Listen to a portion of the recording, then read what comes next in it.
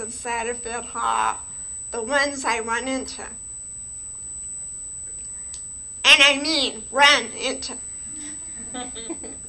this is called an open apology to the students of Satterfield Hall.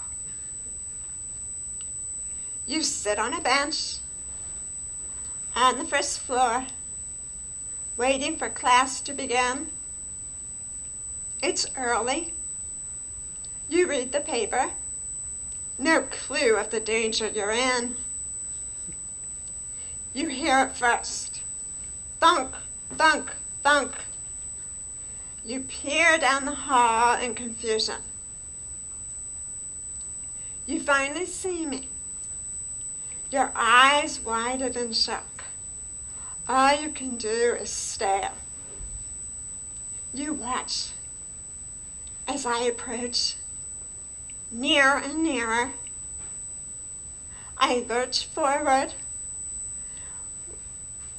with a forearm crutch, waving along a long white cane. You recognize me as blind and crippled, and gawk as I stagger about.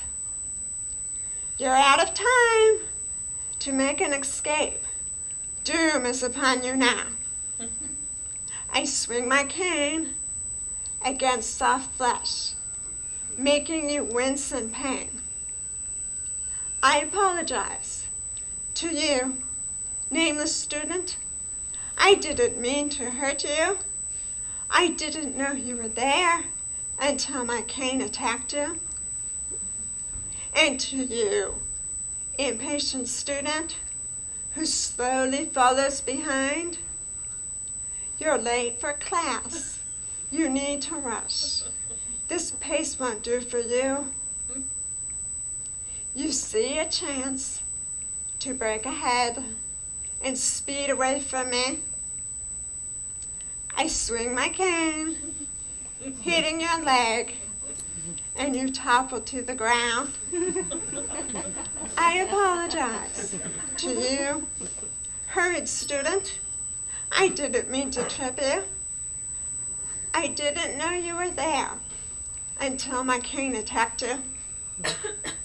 to all of you who felt the wrath of my long white cane, I apologize. I am truly sorry, but what else could I do? I'm a student, just like you. I need to get around. So if I hit you or make you fall, please try to understand. Pull up your legs. Don't try to pass. The choice is up to you. In the end, no matter what, I apologize to you.